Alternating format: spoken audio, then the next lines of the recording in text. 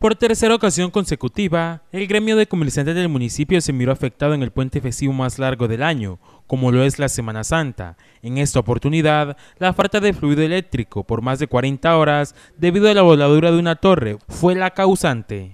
Realmente la Semana Santa no fue la que esperábamos y todos teníamos una gran eh, expectativa en mejorar las condiciones económicas y sobre todo la generación de ingresos en el municipio de Tumaco y en el Pacífico nariñense.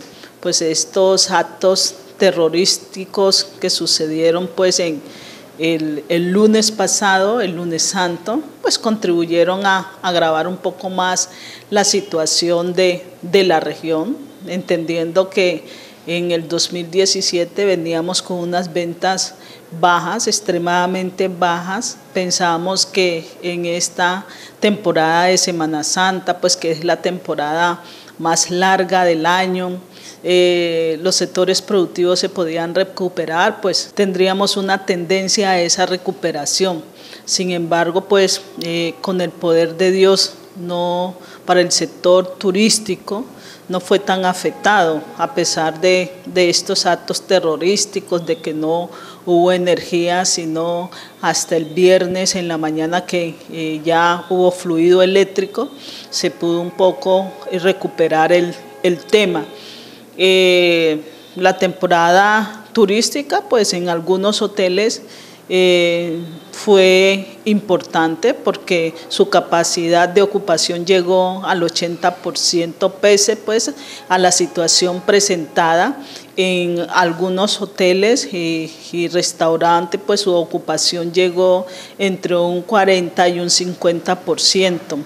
Eh, los sectores eh, más afectados, diría, fue el sector pesquero, porque pues eh, se presentó allí la imposibilidad de, sacar sus productos hasta el interior del país eh, en la temporada de Semana Santa, son las máximas ventas de este sector, entonces uno de los sectores más afectados fue el sector pesquero, el sector camaranicultor también, el sector cocotero, el sector cacautero.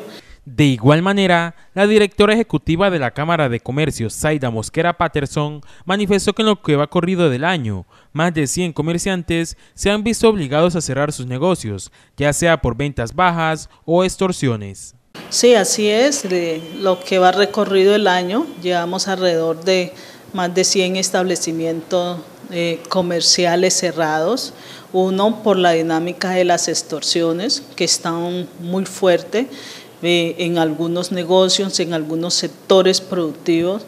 Eh, otro, pues, que contribuyen realmente a que las ventas han sido muy bajas. Tenemos una economía deficitaria, una economía en crisis, deprimida, y pues hay establecimientos de comercio que se han cerrado, cerrando también eh, alrededor de unos 5, entre 5 y 10 negocios cada uno de esos establecimientos de comercio, que esto genera crisis en la región.